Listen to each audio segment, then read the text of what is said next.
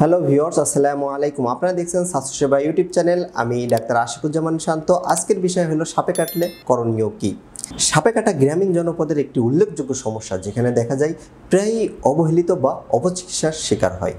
বেশিরভাগ মানুষই আতঙ্কগ্রস্ত হয়ে যায় এবং মনে করে, এই বুঝে আমি মারা গেলাম।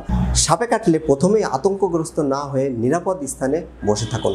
দংশিত এই স্থানে কিছুতেই কাটাছিড়া করা যাবে না। কেবলমাত্র ভিজা কাপড় কিংবা জীবাণুনাশক মলম দিয়ে ক্ষত স্থানে মুছে দিতে পারেন। আক্রান্ত স্থান থেকে মুখের সাহায্যে রক্ত বা বিষ টেনে বের করার চেষ্টা করা বা ক্ষত স্থানে সিমের বিচি গোবর, আলকাত্রা, লালা, ভেষজ ওষুধ বা যে কোনো রাসায়নিক লাগানো থেকে বিরত থাকুন। দংশিত স্থানের একটু উপরে গামছা বা কাপড় দিয়ে একটা বাঁধন দিতে পারেন।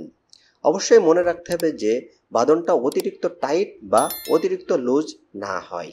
অতিরিক্ত টাইট হলে আপনার ভবিষ্যতে গ্যাংগ্রিন বা অন্যান্য সমস্যাও হইতে পারে। এমনভাবে বাঁধনটা দিতে হবে যাতে একটু জোরপূর্বক ওই বাঁধনের ভিতরে আঙুল প্রবেশ করানো যায়। আপনি কীভাবে বুঝবেন যে যে সাপটা আপনাকে দংশন করেছে সেটা আদৌ বিষাক্ত কিনা? বিষধর সাপ চেনার উপায়। বিষধর সাপের প্রধানত দুটি বাঁকানো নালীযুক্ত লম্বা দাঁত থাকবে। দাঁত দুটি উপরে চোয়ালে থাকে এবং মিউকাস পর্দা দ্বারা আবৃত। বড় দাঁত দুইটির পাশাপাশি ছোট ছোট দাঁত থাকতেও পারে।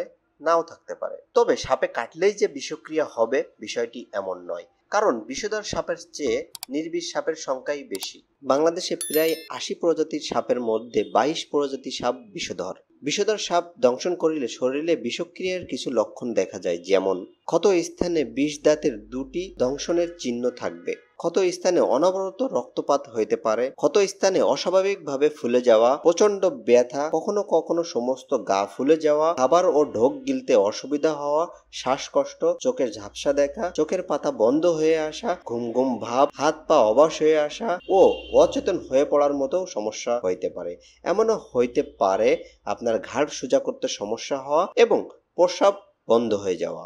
এ ধরনের সমস্যা দেখা দিলে যত দ্রুত সম্ভব নিকটস্থ হসপিটালে যোগাযোগ করতে হবে।